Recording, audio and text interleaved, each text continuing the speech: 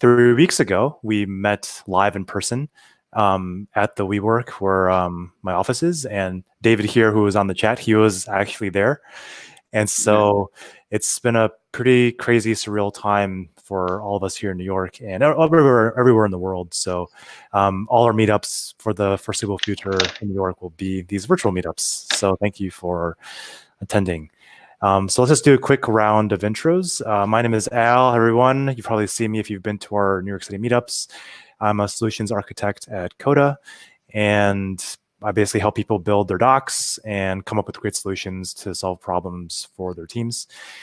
And I host these meetups that will hopefully be going on every month. And David?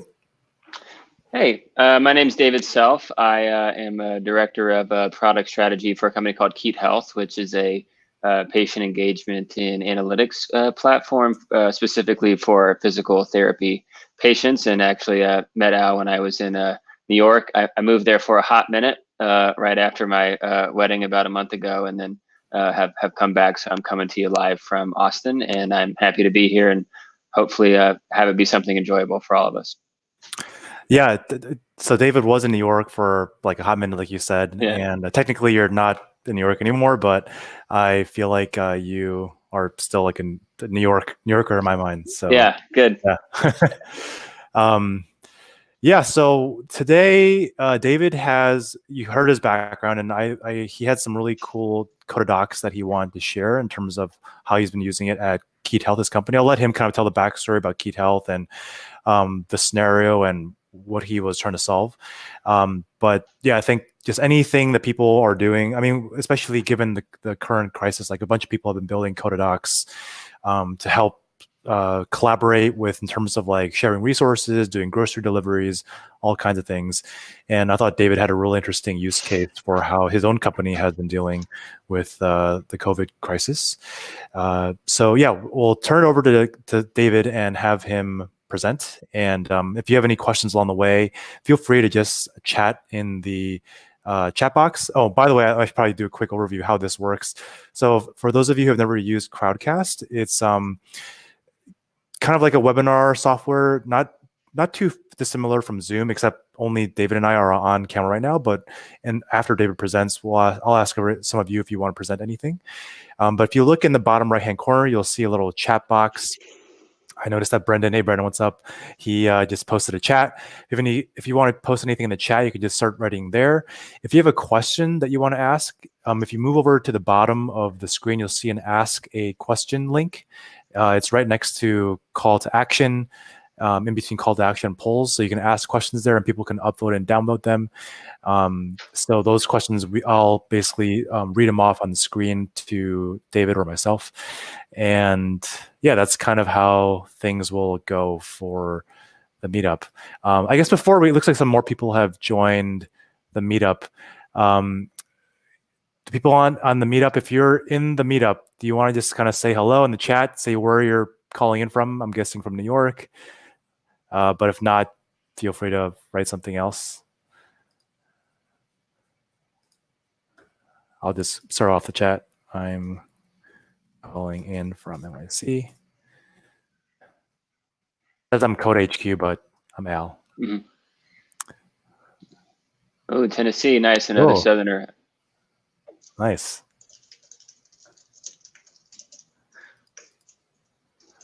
All right, cool. All right, so everyone's getting used to using the chat. Drew, yes, being social distant. We're all being social distant right now, indeed. Uh, cool. Well, hope, hopefully everyone's doing all right, and uh, yeah, feel free to ask questions and use the chat as um, as you wish. Uh, so, David, I'll turn it over to you and uh, let you start presenting. Great. Uh, well, thanks for having me, Al, and uh, hope hopefully this is uh, an inspiring uh, use case of, of how we use Coda. So I, I give a like a, a 30 second microwave background of um, Keet because it's it's relevant to why we would um, do something for um, COVID. And uh, I have a, a single graphic here that typically is I think will be helpful for at least this audience to get a general idea, which is you can essentially just see by this screenshot of the app uh, we, we basically are we sell to physical therapy practices and specifically what we do is to help them engage their patients beyond the walls of an in-person visit, um, which is no different than any other uh, industry or consumer industry these days. Uh, it's getting more and more critical to engage people uh, beyond just when they when they show up because they expect 24/7 access, just like we all do from uh, Amazon and um, Netflix and etc. And so one of the consequences of that for our company was that our um, our practices our, our, our customers were not actually considered um, for most places essential businesses and so one, if they're in shelters in place, they they had to to shut their doors.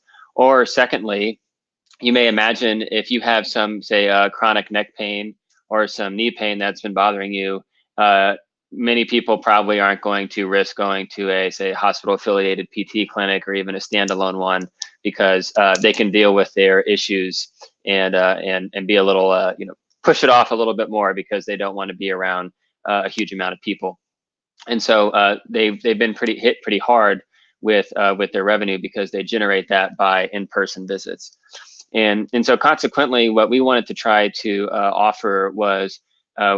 Uh, uh, we don't we don't have any type of a freemium or free trial uh, version of Keet for a variety of reasons. Most of which is healthcare is pretty laborious to just get somebody to sign up because of the the due diligence you have to go through from a tech standpoint and a security standpoint. But what we wanted to try to offer is is figure out some way to help our clients do some type of telehealth or some type of engagement with their clients with really uh, you know no intention of that from a revenue generation but you know really just to kind of do the right thing and to try to serve help our clients serve their patients that all of a sudden were rehabbing from their knee injury and now they, they can't go in and so they're not sure what they're supposed to do and so uh, as a as a kind of cool story, and I think this is really relevant um, for for like kind of the average um, Coda user, is that you know sometimes you see these like pristine, uh, perfect you know templates, and kind of get this idea that that's how it works in the in the real world. And at least the reality for us is we have a, a couple super users, and I don't really even specifically mean with Coda. I just mean with maybe the thought equity of, of certain ways of moving work forward. And um, and so I think it's kind of a cool story to talk about how this developed because we we essentially turned around this product in a, a, quite literally a 12 to 24 hours, and it was really the definition of cross-functional. We had sales, operations, product, and not just our our company, but we have a parent company that was also um, involved. So how I was going to go about this is I'm going to show how the initial idea happened and then how that initially turned into like a really rough Coda doc, and then it kind of exploded into a, a center of gravity for the entire 200 uh, uh, person company, all in about all in about two days. Hey, David, do you want to quickly walk through how you um, have been traditionally using Coda before all yeah. this first?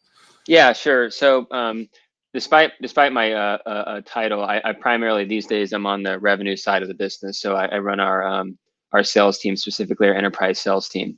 And and uh, has been used sparingly by non uh, non sales individuals, but primarily it's been on the uh, enterprise sales team to really do two things. One, manage internal projects, um, say like new new new hire onboarding, for instance.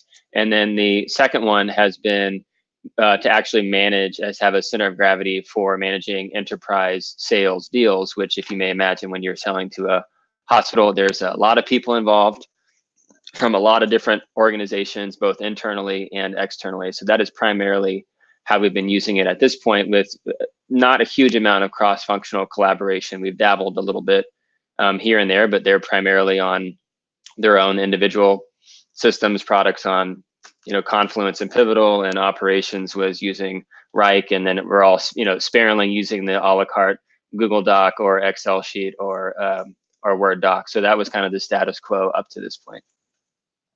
Cool. Thanks. Sure. So I'm going to go ahead and share my, uh, oops, sorry, I hit the wrong button there. So uh, to kind of tell a story of how this developed was this came through on the night of March 15th um, from our president, who was up kind of really all night thinking, how can we do something to help our clients? And you can see it's got kind of the skeleton of a of a Coda doc, but that's about it, right? Where there was some basic overview how we're going to handle it with sales, implementation, and a task list. So just for my sake, I initially took that and put it into my own little uh, little Coda doc and what that ended up turning into was an entire cross-functional doc, which you can see here. And, and so what I'm going to show, what you're seeing here is actually the end product because this ended up being, it turned into, the end state of it was it was essentially temporary for three days for cross-functional access. And then it turned into a sales specific uh, enablement wiki to explain to the sales team what we were doing and how to handle the orders. So how we did that is what you're seeing here, all the stuff that's open uh, was that we used the publishing feature of Coda. And so the sales team only sees the published one. And then all these were the internal things that we did to develop the product launch, uh, uh, which are hidden. So um, here's how it all started. How it initially started was uh, we took the little the little voting thing and just figured out, hey, uh, what's the name of it? As you can see, there wasn't a lot of uh, participation, so uh, majority win, and we just ended up calling it um, you know, Keet COVID. And then I took the task from this loose, loose leaf thing and made it. Uh, we made it a little bit more actionable. So we kind of have developed an internal uh, action item template, if you will, to kind of use in every every doc that um, that we use.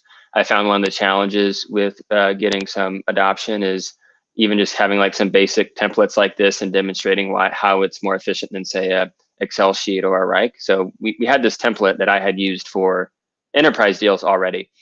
And so as you can see, all I, literally all we did was we we pasted this and then we added some basic um, status monitoring and, and buttons and assignments so that you know there could be some transparency. What you will notice is the assignee, you can see that even though this was the uh, the people column, uh, that happened after the fact once it got totally to the revenue team, because like I mentioned, um, for many of these folks, they had never used Coda before.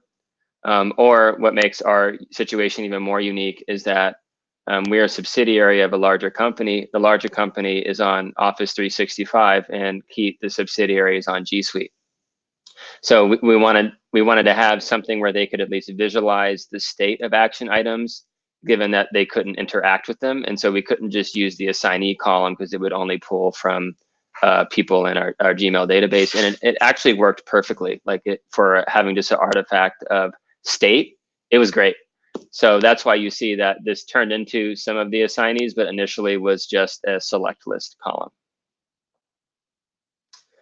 And it's color coded by department and you can see, so it was a basic action item thing with a couple interactive filters so that if, um, you know, if you were in success or you were in marketing, then you could just filter by that particular interactive um, uh, filter. And I suppose, you know, ideally that would be nice to have its own section, you know, its own different view, view of marketing, view of client success, view of sales. But we, you know, we had a charter to to launch it in 24 hours. So I think it's kind of important to realize it doesn't always have to be. It can be a little messy and a little simplistic sometimes just to get things out the door, and it worked really well for us at the time. Then the second challenge uh, that we had was okay, we have all these people that that haven't initially um, used Coda or they're just trying to focus on their particular task. And we had this, you know, Slack channel, but as everyone knows, those those things can get pretty busy, particularly if you don't have great Slack hygiene with uh, how people behave in them.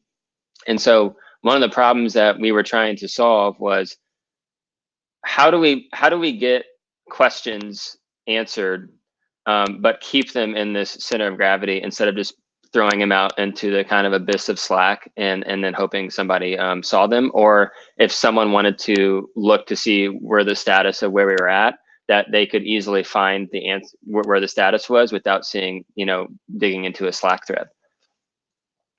So this was actually probably the most uh, important thing we used in the very beginning was we we, we made this um, this basic section where we would just paste in the um, in the Slack channel uh, kind of like a regular reminder reminder to please go to the outstanding questions item. And if you are if you're assigned to the question, um, please just click. We, we use the button here to say, hey, hey, click to answer this question, and then mark it uh, and then mark it as answered.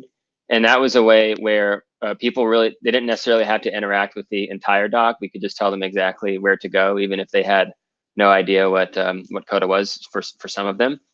but it allowed us to keep things organized. So they would click this, and then we kind of organized this to to be really really simple and straightforward, where they would just come in here and type their answer. And we actually use uh, Loom. We took these out, but we had a couple Loom videos in here to show how to do this.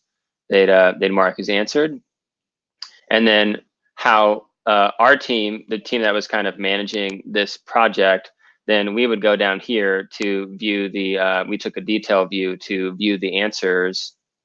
And uh, so, so it wouldn't, it wouldn't uh, kill this column because if we took the column here and we had the answer, you know, it would get this like huge table. And, um, and so that, that wouldn't be very helpful. Or maybe we're just uh, kind of like pretentious on that, but we just want our table to look nice. So.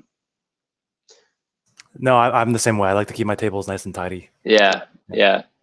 And uh, a, a side note, I found that that's a, a very uh, little useful thing to to use because one, it, it, it's a better way of working, and two, um, it's kind of just an obvious way to see how a CODA table can be superior to a spreadsheet sometimes, uh, which is something that everyone's probably dealt with. And if you can have that as their first experience, uh, we found that that kind of helps people get it, so to speak.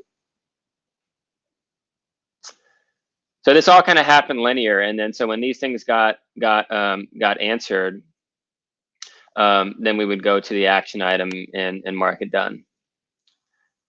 So once uh, once all of the the, the cross functional stuff got uh, uh, happened, the the last thing to do was to get specific on um, what was actually uh, in the product of the free version versus what was in our standard version. And if you recall from this Google Doc, it was kind of pretty loose leaf in here as to what what was in here. And so what happened is um, when this first got launched in the Slack channel, you get a lot of cross-functional questions of, okay, I just want to be clear, what's it? So what's part of this and what's not part of this? And um, and so we made kind of, again, just like a, a basic, very simple table um, demonstrating what it was because we knew not only could we ask people to confirm that this was the case, so we make an action item for engineering and for uh, our president to make sure we were all on the same page. But then we knew we could easily resurface this table for the sales team to have like a very simple artifact to what exactly this was. And I'll show you in a second. We actually resurfaced this as a published web page, this exact table for clients when we did our outbound prospecting template, just telling people about the um, the free offer. So this this table looks great. I can totally see like, okay, what do we want to offer for um, Keet COVID nineteen and then the Keet standard. Um, but like, I'm sure there's a lot. There was probably a lot more happening behind the scenes on Slack and what have you. Yeah, to yeah. come to consensus on what features you can offer from the product. So I'm curious how that came about. Was it like just a bunch of people on Slack? Was there like the Zoom meetings happening? Yeah. So so it was um, it was primarily driven by uh, by by our general manager, um, which which was nice because Keet isn't that complex of a of a product, so it's it's it's pretty easy to to say what we could do and what we wouldn't. And and most of it was more more of a business, you know, um, decision. Like, could this is a good example. Um, we, we couldn't afford to, to to do EMR integrations for for all these customers as much as we we would love to. Most of that did happen uh, just in a in, in, like a Slack channel and in siloed conversations and phone calls and stuff like that. Um, the basic charter that that I gave the team uh, was, hey, I don't we don't necessarily need to be in in all those, but uh, we need to know what they are and then and then we'll reflect it um, into coda. So that create uh, iterative process did not happen um, in the doc. We just captured the state of where that process was uh, in the doc. And what is emr again? Emr is an electronic medical record. Oh so yeah yeah um, and man we wish it was as simple as a single sign-on with uh, with google but uh, it, it's it's definitely not so yeah, it's a whole different other whole whole other beast in terms of healthcare records and stuff. So yeah, yeah, that's right. Yep. Very Did cool. I answer your question now? Yeah, yeah, thanks. Yeah. Um.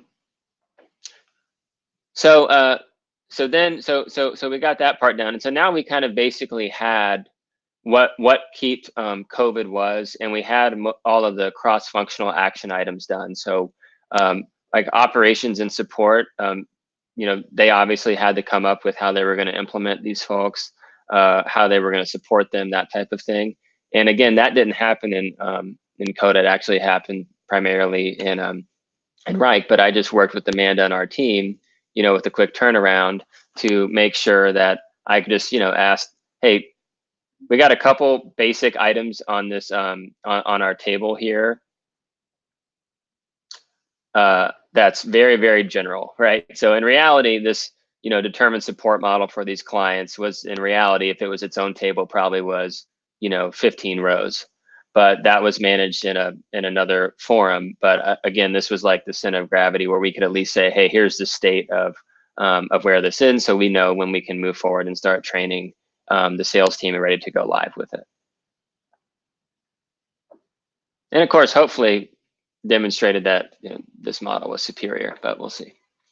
Um, so we got we got all of the uh, action items done, and so then at that point, um, it was how are we going to now train a distributed sales team of close to 20 people what in the heck this um, free version was that um, that we were doing and as some context, our um, our sales team um, sells sells two um, products. So we're owned by a parent company again called Clinicient, and they sell the Clinicient product, which is an electronic medical record, and then they also sell um, sell Keet.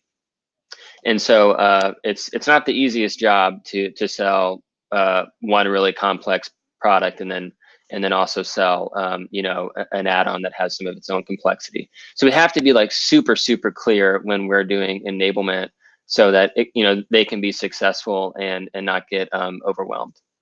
Is this um was this 20 distributed sales folks for Clinicient or for just Keet the, the the Clinicient uh, the sales team is centralized. So um so kind of there is no such thing as like a Keet sales team and a Clinicient sales team. There's just an overall Clinicient sales team that sells uh, Keet uh, and also sells uh, Clinicient's product. I see. So, so in addition, in addition to the portfolio of Clinicient products, now it's like within just Keet, there's like a specific COVID right tier, so to speak. Yeah, right. Yep, you got it. You got it. And the other part, which makes this fun, is all of the um, all of the sales team uh, um, because they're not technically part of the uh, subsidiary that is Keet, but they sell Keet. They are on uh, Microsoft Suite, Office 365. Um, so I've had I've given some of the sales team uh, Keet Gmail addresses so they can access our Coda database, but haven't hadn't given all of it all of it to them because again, you got to make it clear why we're doing this because I did it one time kind of a la carte. And then the question was, so when do I use my Keet email versus my Clinicient email? And thought, okay, gosh, I, I can't I can't open that can of worms. So I got to make sure people understand that you're just using this email to access things like Coda that doesn't support uh, Microsoft at the time. Right? Mm. Which is a nice cue up for you later, Al, when you when you show that you know you can sign up without with with any email now. Um, well, you can sign up with any email now. yeah, yeah, yeah.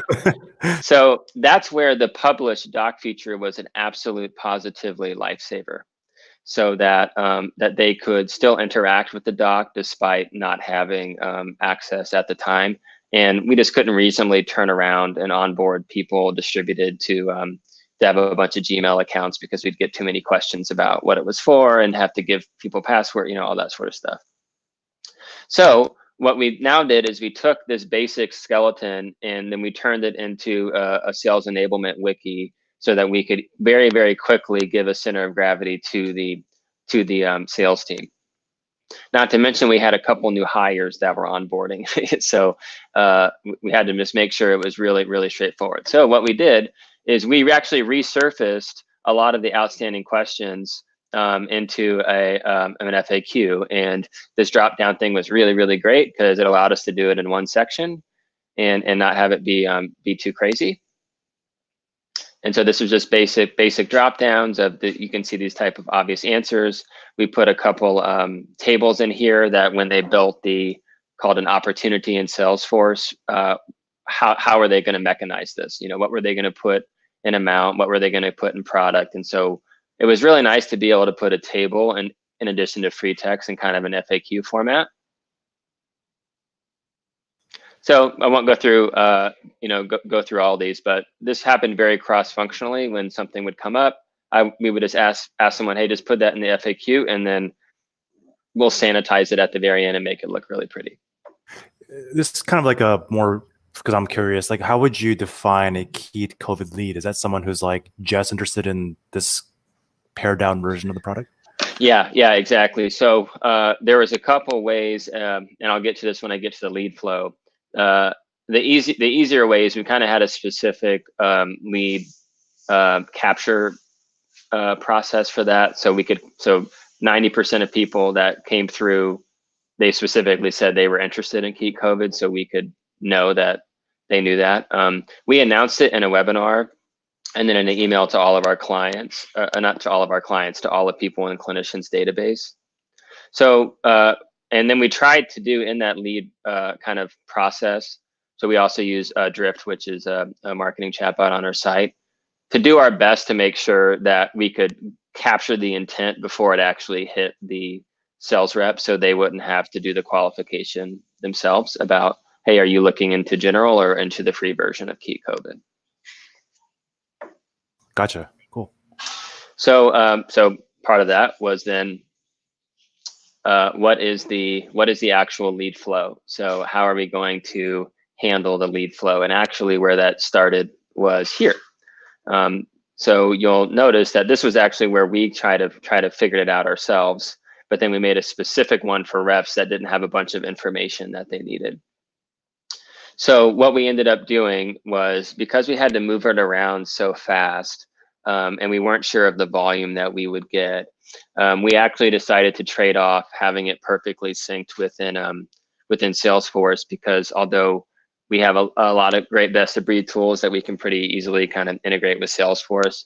Salesforce isn't the um, the simplest to just like pop up a Zapier integration.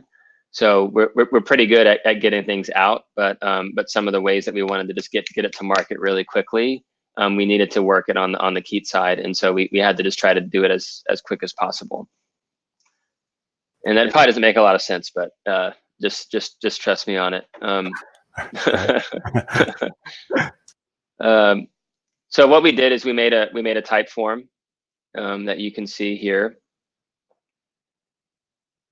That was a, a, a basic type of uh, you know it was just a basic lead form asking people if they were um, if they were interested. And uh, and the reason that we we we uh, we did that is, long story short, when that kind of that outbound email came out to the database or to prospects, um, Keet's still a relatively small subsidiary in the bottom line for a variety of reasons. We can't move that fast on on making website um, changes. So in order to move really fast, we we tried to figure out well, what could we just point to point people to uh, in this email because the the lead form on our site was connected to uh, to Marketo, and we actually didn't want to have to go through that. We wanted to make it more lighter weight. So we made a separate lead form to to act as our our lead capture uh, page initially. And then once they once they did that, uh, we zapped it over to um, a, a, Google sheet, and then from the Google sheet, we zapped it over to a Coda section which was just a actual a second zap. So we zapped from Google to Coda. And the reason that we did that initially, you may be wondering, why didn't you just go from the Typeform into the Coda leads? Was because the um, the sales development representative who was going to be handling these leads, um, he he didn't have a he had never used Coda before, and he didn't have a Gmail address. So we wanted to have a backup plan that in case it got overwhelming, we could just tell them to look at a Google sheet. Turned out uh, it wasn't overwhelming at all, and he never never used this. So we that that was really great. But that's why we did this kind of boom, boom, boom. Cool. Then once you got a new row in the uh, in the lead in the live feed of leads, that then sent um, a Slack alert to um, to a specific channel in um, a Slack that went to this specific SDR. And then what the SDR did is he would go to the uh, leads. And I'm going to stop sharing my screen one second, Al, because I just want to make sure that I've hidden uh, all of the actual leads information. Yeah, sure. Because I did this beforehand. Yeah, okay. So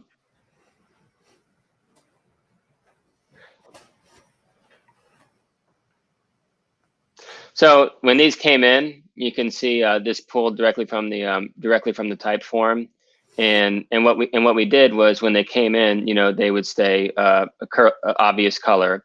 So the uh, the sales development representative who's like fresh out of college, so you know he's we wanted to make sure that it was really really simple for him to understand. Was he'd get this lead, he would then go through here and see a couple pieces of qualification criteria and all of that stuff exists um, here, which specifically is number of therapists and location. But uh, we thought it would just be simpler if we could coach them to click a button than to look at a row. So we put this view details button in here and we use the uh, activate row formula. And then this would pop up the row and he could quickly see the number of therapists and we could have done a better job at the uh, at the address or make it more structured in the form. Then he had kind of his own cheat sheet internally as to what rep that would get assigned to. He would then assign it to um, the rep. He would then uh, copy the email address. He'd go to Slack. We use this awesome Slack bot called Troops, which pulls from Salesforce. So he would go backslash Troops, pop in the email. It would pull up the lead. He would update the the lead source to be Keet COVID, which would actually feed into um, Salesforce, and then he would post that to the to the rep in Slack. He'd send that to them uh, in Slack. Then what we'd have to do is then the rep would send out, we made two templates. So we made an inbound template for reps to use. So once they once they got a lead, they could just use this template. They could personalize it, you know, if they knew if they knew the person. If they didn't, they could use this template. They would then um, when when that email went out, then that same development representative that handed it off he would go through here and he would just click contacted. And then this would change up here so that we could know uh, how quickly we were able to contact our leads and, you know, just make sure that we were staying on top of stuff. So the sales rep would they is is he or she the one that's clicking on the contacted column? no, th this was the uh, the sales development representative, which is called the oh, okay. SDR. Yeah, and yep. and for those that aren't in in sales, that's a position that is exclusively designed for uh, lead generation and outbound outbound kind of prospecting. So their their their primary role is to set meetings for the actual uh, reps or account executives. And again, because he was the only one with the Gmail address, uh, we didn't want to have to make coach reps how to sign up for Coda and, and stuff like that in such a short time frame. So we just did it a little bit more manual than we'd probably want to if we were going to really scale this thing out and just had him mark it as contacted. Gotcha. So then, uh, once they did that, we had an inbound template again that they would use. And uh, kind of back to your uh, point, Al, the other part of this was, again, we want to make sure it's crystal clear so that we were not giving clients any false information about kind of, you know, what they were getting and what they weren't. And so um, we did a little PS at the bottom and this, we just took the table and um, Taylor on our team just made this basically just a, a, a very simple landing page of that same exact table. And again, it could be contextualized a lot better. You know, it could link back to the to the sign up. Uh, uh, it could link to the contract or something like that. But we were moving so fast. We literally did all this in like 18 hours. Um, so it, it was just it was way quicker than than making a change to the site. And frankly, it was better than the landing page that got ended up being created because what we ended up creating was okay, but this is a little bit even this is a little bit harder to read to understand the difference than than seeing a um, you know a table like this. So there was a you published this as a as a published doc. Yeah, right? yeah, okay. right. Yep. And yep. then and then we linked it in an outbound uh, a template that the that the reps could use, so that the prospect was clear as to what they were signing up for. And the the other thing that we did uh, was usually in healthcare, you don't have any type of like self-service sign up like you would for say Coda because of the diligence and stuff, but um, we actually did. So we we we had a self-service sign up through um, DocuSign that our our team pulled together pretty fast. A little rough around the edges, but it, it worked. And so uh, that was actually the first time ever in the history of um, of Clinicient's that people could, you know, kind of just you know sign up on their own if they're ready to move forward. So that was pretty cool. Wow. And then um, and then uh, once that would happen, then that would again go into a Slack channel. It would hand off to the um, to the client support team, and then that would fire off an automated uh, implementation into the, the Keet COVID version. And the same exact thing uh, for the outbound template. So this means that a rep maybe had someone in mind, or they knew some people that they'd like to share the offer to. Maybe a maybe a prospect that they were working with, and you know they're obviously not going to most of them aren't going to be writing a big check to to buy um, Keet, or maybe they're looking at Clinicient, but they just want to be able to, to help them out, or maybe it was an old client that switched to a competitor or something, but they had a good relationship. So we just made an outbound template that that we just put, hey, personalize it here, but then it was kind of the exact same exact same thing. And the first one just just reoriented a little bit. And then the, the last thing to tidy this all up was to contextualize it. So at the time, this was all pretty, uh, these sections were all over the place. So we made a little uh, read me first. We, uh, we put a cover photo on it and then we told them a goal and we tried to spell out, hey, you're going to do this exact stepwise faction, uh, fashion when you go in here. Um, and then you can ask questions uh, in the in in you know in your meetings and Slack channels.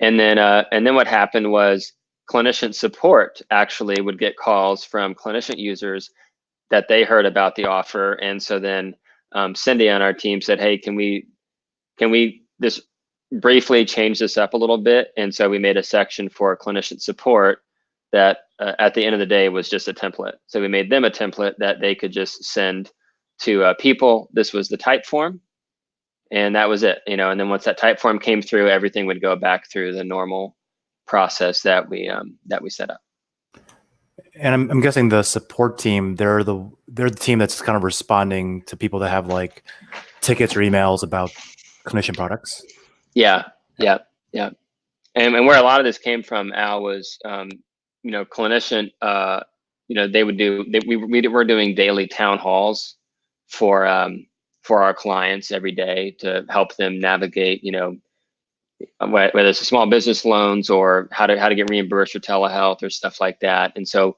they would maybe hear about um, how how they could use Keet to help. And and so, but they were a Clinicient user and they maybe they, they weren't that familiar with Keet. So they would they would actually call into their you know Clinicient account manager or support asking about it. So it, we weren't able, it was kind of coming in from like multi channels. So we wanted to make sure that we could coach that team how to get them into the same process that we had developed so we could scale it pretty quickly. Gotcha.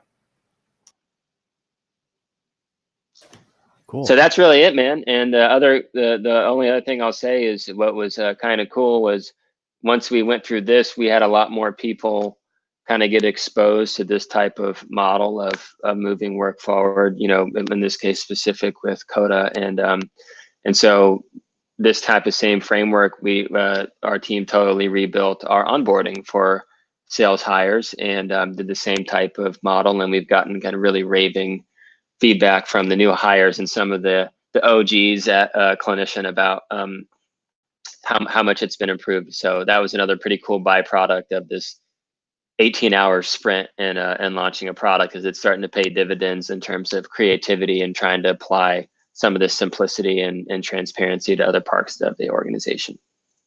Wow, that's awesome. The um, I think whenever you're rolling out a new process or tool, I mean, within like 18, 24 hours is already like a pretty amazing feat. Did you were you kind of like you have your role like as you know working the sales yeah. team, but when you rolled this out, were you kind of the main point of contact for people that had questions about the, the process and the, the tool. Um, yeah. I'm sure a lot of people were like, what am I looking at? And then they're basically stuck with like finding someone that knows what this Codadoc is all about.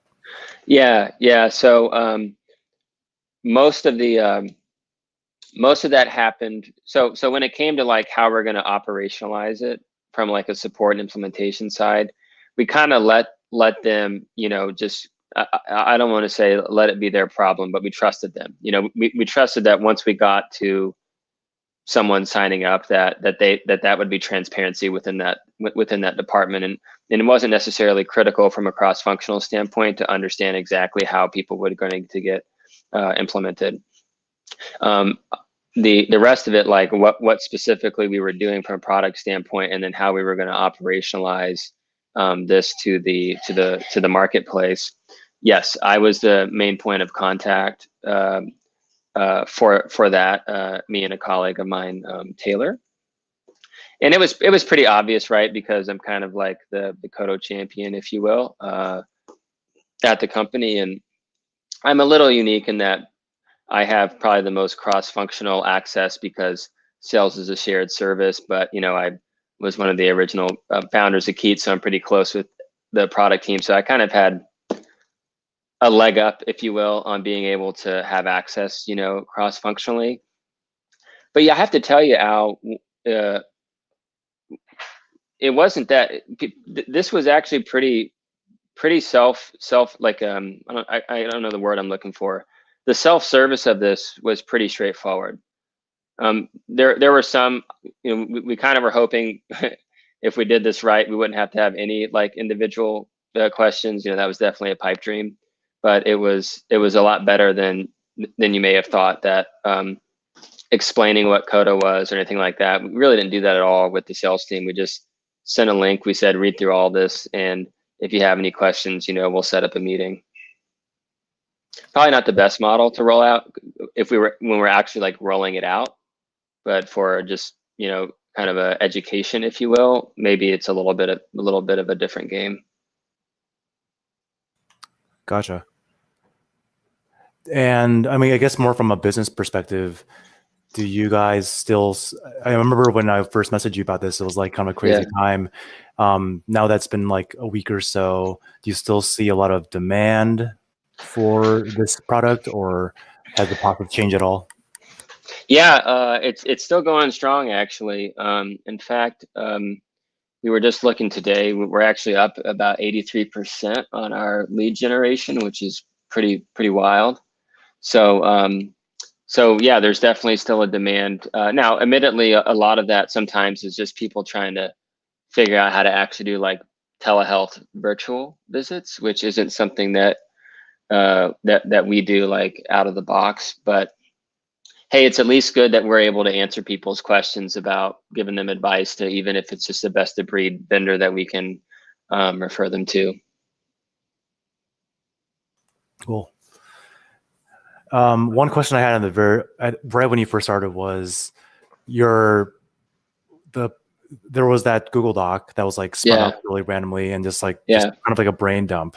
Yeah. I'm curious if you had not used Coda, like what tools you might have considered, or maybe other people on the team might have used in response to that Google Doc. Yeah. What what what would have happened is um, probably um, probably a lot of it would have just kind of happened within the Google Doc itself yeah. you know that that that there would have been some headers and maybe some some questions on it. Uh, a lot of it would just kind of uh, you know happen um, synchronously through um, through slack.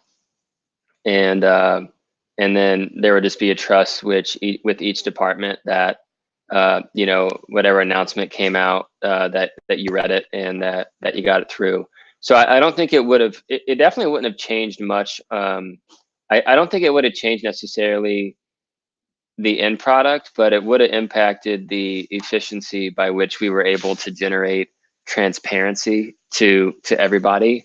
And certainly, um, if we didn't use this for the for the sales team, um, it would have happened uh, basically through just like probably a long announcement, you know, maybe a Slack post or a, even an email, and um, maybe a PowerPoint or something like that. It's kind of like historically how things um, worked at Clinicient and operations and, and product. They they would have kept using, you know, Pivotal Tracker and, and Wrike to to bring those things those things forward. Cross functionally, it would have been a little bit more um, every man for himself, if you will, or or just kind of working off of the Google Doc and maybe a loose leaf Google Sheet.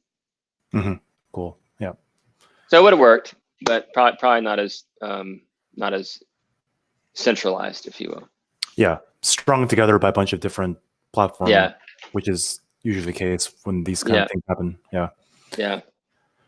Um, cool. Yeah, you definitely. I mean, so the publishing a doc is a relatively new feature. Yeah. Um, like you're actually utilizing a whole bunch of new features that just came out in the last, I would say, three four weeks. yeah. Um, one thing I wanted to ask about was on the on the section, the pages list on the left hand side, how you chose to hide certain folders and sections there, like lead flow. I believe is hidden. Is that right? Oh yeah. So so basically what we what we hid and we actually hid this too um, was we just wanted to make uh, everything so that um, because this ended up only being a, a pub when we published it it was for the revenue team the sales team and so we wanted to take out everything of the iterative and creative process and just make it straightforward what the end product was so that's how we decided to hide those um, those certain features or those certain folders and sections. One of the wrestlings that I had, uh, Al, or that we had was, do we do we take these and make it actually a separate doc? Because when we when we launched this, it wasn't perfect. So we were still interacting with like the action item section and with the lead flow section. Um, the editors were just doing it with the section staying hidden so that um, so that they could still interact with the public doc. Now that worked really great, except um, I had to do a, a, a decent amount of internal explaining of how you that one sections could be hidden and how you view them, because uh, I, I can't recall, but I, I think that there were often times where, where people would come in like this, and they they wouldn't know right that there were hidden sections. Yeah, yeah.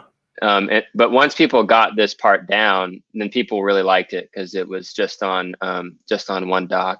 Same thing with locking and you know unlocking. Like if we if we were wanting to edit some stuff, it would be nice to lock it uh, so that it wouldn't be messed up by by the t- by the sales team that was reading it. But we could also go like quickly and update it at night and not have to maybe do a duplicate effort because we know it would be reflected, um, you know, reflected back towards them Right. this the the the second uh, thing on the on the hidden thing was uh, this was also tough. Um, not not not tough, but it took a little while to kind of explain explain the difference between this because um, when when uh like I had a colleague of mine that made this one that was the link in the marketing template just for people to see what it was.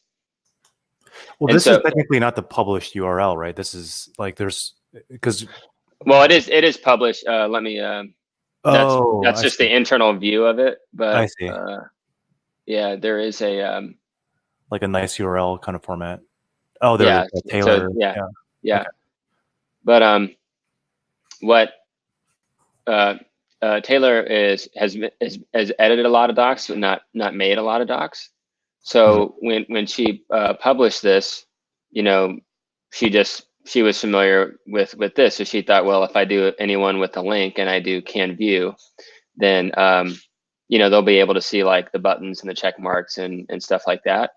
And um, and so it was a little I had to kind of explain to her, no, when you're going to make this actually public facing, we'll publish it, even though the setting is um, a similar. But again, once people got it, then it was good. But those were two things we had to do a little bit of um, product coaching on to try to make sure people understood. Yeah, that's what I'm always worried about, especially like when you have a 18 hour sprint. It's like you want to roll out the tool, but then to have to explain it, it might that's always a stumbling block. So Yeah, yeah, yeah. If it would have been a brand new tool that no one had any type of like, we were like, you know, what the heck is is this thing? I, you know, I think it definitely played in our favor that people they've known about it and they've seen it, even though they they haven't necessarily used it because there was some type of familiarity with it. right. Yeah. Cool. Uh, I know I've been asking a lot of questions, but um, if anyone else has questions, feel free to leave in the chat. Um, there's nothing else. I'm gonna open it up to those of you who are still here. If anyone wants to present, actually, I think a friend of mine, he's um, a Brendan, who's in the, the, meetup. I think he wanted to present. Um, I'm just gonna see if he's in the chat.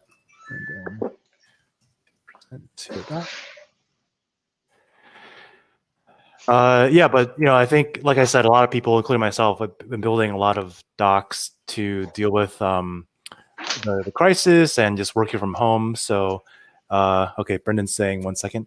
Um, Brendan, just chat. this is like, unlike a real meetup, I can't just like talk to the person. Yeah, yeah, I'm yeah. Like, I'm like, uh, Brendan, if you're hearing this, just go in the chat. let me know when you're ready to come on screen. um, but in the meantime, I guess, uh, how are how are you doing, David, in terms of coping with working from home and all that stuff? Well, probably similar to everyone. I mean, I'm getting weirder by the day uh, in terms of how we entertain, entertain ourselves and what my wife and I do for uh, entertainment and randomly getting into you know composting and all sorts of stuff that happens when you're when you're stuck at home.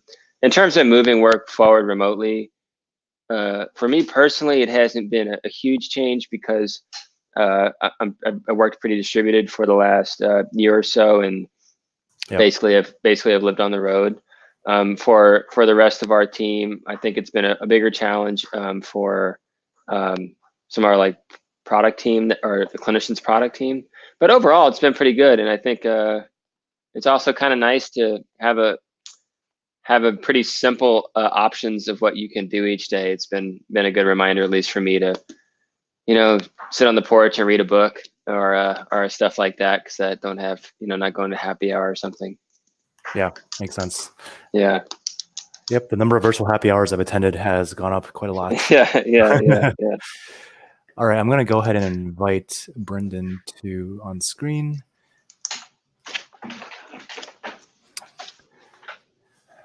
Uh,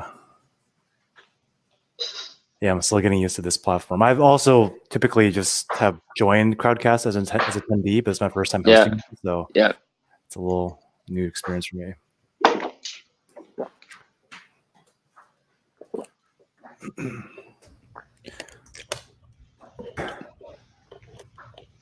Brendan, hey. Yeah, I'm just gonna do one thing. I think I'm gonna switch the cameras that it's using. That's possible. Okay. I'm not sure why it chose that. There we go. Oh. Oh. Oh. Nope. Hey. Well. Nope. nope. Hey, do you want to introduce yourself really quick to yeah. the audience? Yes, absolutely. Um, hi guys. I'm uh, I'm Brendan Weinstein. Uh, I'm from New York. Um, along with Al, we uh, together met when we were um, putting together a no code New York City um, meetup group. We uh, collaborate with another uh, partner of ours, Eric, um, who works with Bubble. So we have a nice little you know growing community. I'm sure I've met and seen some of you maybe in attendance there. Um, I'm actually pretty excited about this. Uh, I, in most of the no code and or um, I would say low code development um, products or presentations I've been given, it's never been about Coda and about how I use a document, right? It's been about like how to shortcut and circumnavigate the in, inabilities of my team uh, in a web development sense, right? So like we need to get a cheap web app built, like let's go no code. Or we need, we don't have engineers, we have great designers, we're willing to spend the time, we're going to build something in Webflow and you know a lot of data. Coda to me allow was completely different in that sense. Coda to me was a way for me to be able to organize and be a product manager that I am. So my passion, background, and uh, experience lies mostly from uh, a very young kid, fascinated by computers. Um, I let that led into education technology. I was, you know, starting a found, uh, founding a startup and wanted to help fix the education system, bringing it online, relevant skill assessments. Um, collaboration was not there yet, right? The ability to actually collaborate online with other students and build together, none of that was there. Um, as this grew on, my product management experience was, I would say, 10 times enhanced and 10 times uh, more effective by going through a, program called Product School. In Product School, they helped us understand what a lot of these frameworks that you may see, like in Coda templates or how some other people are using Coda docs. And my whole revelation was that it's not necessarily the the product or or the you know the no code and the uh, movement, the product that you're given with pre-built templates. It's seeing how someone else is able to construct their ideas, thoughts, um, their presentation in in a tool and a product that makes it intuitive for both the end user and the person building it. Right? We all know as or I don't know if how many of you guys are product managers or or product um, you know professionals in, in some sense at all. But there's a lot of documentation, there's a lot of road mapping, right? There's there's collaborate collaboration that needs to be done. There's a large set of reasons to need interactive and um, informative document documents. So for me, I uh, I've used Coda for for several years, but not for a full purpose. Like this was going to be my tool to do all of my product roadmaps or a tool to do all of my um, meeting minutes. Uh, I found it to be way more of a tool that I went went to for resources of the templates to learn a little bit about how some of the people, such as Al, were actually constructing their temp- their templates to build, um, you know what I mean, productive work workflow habits to build productive um, operations within a company. Um, the ability to to have everyone shared on visit like you know corporate visibility. Everyone is is transparent when people are able to view the document that that may be in question or maybe not edit it, but certainly view any relevant information. That to me was where I felt no code had a stronger value to majority of organizations and business than the no code, um, you know, uh, platforms we hear and see and speak of all, you know, so often. I find those to be very much so for application building and for front end and and user uh, interaction. So for me, I think that my favorite Coda doc I'd like to show you guys is um, actually not one I fully built. To be honest, I've worked and tweaked through it. It's my go-to guide now for trying for understanding when building, launching, creating products, how to find that fit, right? How how to use a, a, a engine almost, right? A growth engine, a, a, exact product market fit engine that can be done and managed through a document, right? Word was never going to do that. Excel was never going to build me an exact model, right? So I'm not sure how many of you are familiar with Rahul Vohra from Superhuman, but he uh he actually has constructed what I think we can say is now the globally accepted definition of product market fit. And here's a document that he actually um, share my screen momentarily. This is a document he has built in Coda, walking you through the exact. How do I share this screen? There it is with the exact steps and model for your product market fit. Can everyone see my screen now? Yep, and maybe just zoom in a little bit. Yep. On yep. the, or actually, you're. Yep, there you go. Yep. And that should be good, right? Yep. Great. So.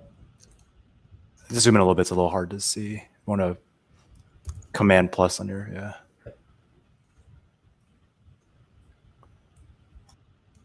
Let me just shrink that a little bit so I can see that over there. Perfect. How's that? A little bit. Little, want me to zoom in a little bit more? Uh, that's good. We can go from there. Great. So, yeah, this this is perfect. Here we go. So, Superhuman Product Market Fit Engine.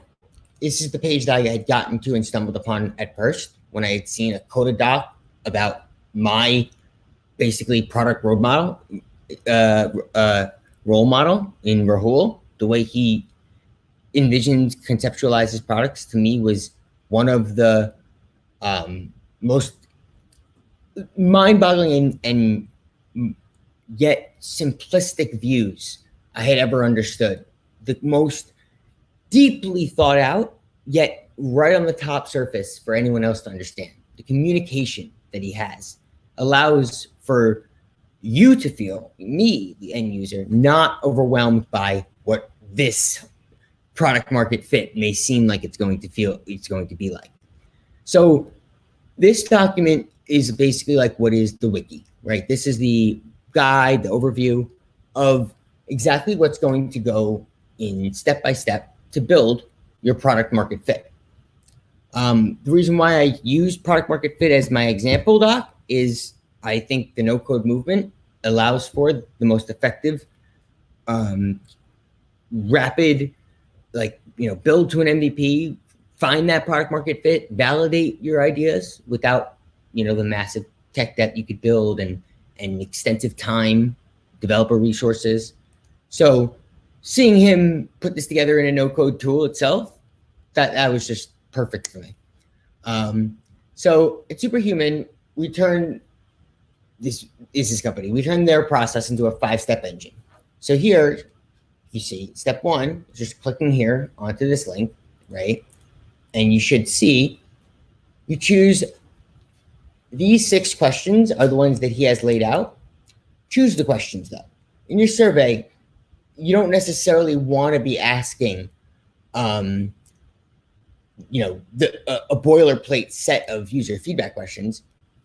Do you do you think every user you know what i mean is going to feel the same way or be interested in the same type of um, you know engagement right away with, with a founder seeking feedback on their product? No. I mean they all have differing opinions and they all some are angry some hate it and some don't really want to spend the time sharing feedback with you so here's the way that Rahul had explained it to me. And in this document, I believe it does a pretty good job of explaining that in a general term as well. How would you, the, the six questions that were asked were summarized up by the top one being by far the most important question Rahul said that this entire operation led down to. And he did not explain why he started with it. It just happened to be that that's where they ended as well as started. And that is, how would you feel if you could no longer use X, whatever your product is, when when seeking feedback and trying to find your product market fit, right? We're we're asking, how badly do you need this? How upset would you be if you couldn't have it? And if that is what's driving you, it's probably even more disruptive to you to lose this product than it is to lose a product that may just cost you a lot of money to replace, right? So the the way that you one could follow this document through is two through six should basically be in the survey regarding your product, right? How would your ben- users benefit? How can you improve your communication app, whatever it may be? But the same pro, uh, principles and processes, the same uh, you like workflow is basically you know copyable or not copyable. I would say it's basically maneuverable throughout different industries and definitely able to be um, replicated over and over again for various different types of businesses or product launches. Um, in my at least in my experience. So for um, for the survey part, Typeform, um, Google Forms doesn't really really matter. Um, as long as you can actually compile in the data of those six questions, it should be good. Um, here's where the instructions for the Typeform are. If you actually want to follow this doc, I'll be sharing it along. You can use these tabs to get direct instructions right here on how to um, set up these survey questions. So upon receiving this, uh, the responses of those six survey questions, this is what he had received back. Okay. Did not mean that. This is stating, obviously, as we can see, several things, but it's it's running everyone through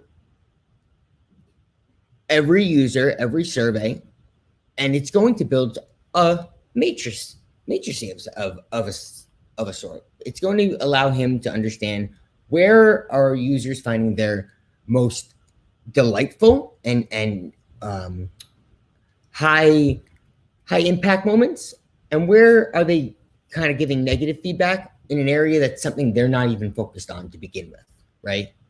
So the somewhat dis- the um very disappointed to somewhat disappointed and then very disappointed right? That's an answer that he was looking for at that same question number one right? How would you feel if you can no longer use it? That to him and their team is the reason you're going to come back is if you were devastated if you can no longer use it that's the strongest user you have right you you're an entirely um, a product and you're fit for the market that that user is is, is definitely looking for. Um, I'm not really going to go deeper into you know what exactly the survey responses um, came out, like the details of how these responses led to the next um, like data points. But I will touch on the fact that when we got down to I think what was it? The 500th response. Yes. Okay. The 500th response was not the amount total that was surveyed. This was the amount that was determined based upon uh, uh like, like a segmentation of amount of user of users that were surveyed that answered incomplete um right answered completely and then those who were not actually relevant because although they seemed like their position would have been, the way that they use email and the way that email interacts with their everyday life was not quite the audience that would ever understand why this product was being built just yet. So there was a little bit of cleansing of of data, but these 500 were how the I mean the next steps and the product market fit engine was going to be built. Hey, so Bernard, I just want to. That segmentation, like I said, the, pers- the user persona, right, is going to be the are they a founder, um, manager, executive? What are they at their company, right? It it's for everyone to love and everyone to gain the same value out of, right? But without these user personas and ensuring you're you're providing a value, and an experience for each of these different types of users that is not going to be met with anger on the on the you know end user that's just a simple email client you not so overwhelmed not so concerned with email user comparatively to the business user receiving 200,000 emails a week and is completely lost Hey, Brendan, I just want to be yeah. conscious of time. Um, you want to kind of get to the yeah, point yeah, the, of like how you use this? Yeah. Yeah, sure. This is basically the most important part, and then the, the roadmap is not is not so much as relevant to this piece. So I only have two two pieces left anyway. Okay. Um, so sure. So assigning a persona would be simple, right? You just go through and whatever your set of job title is,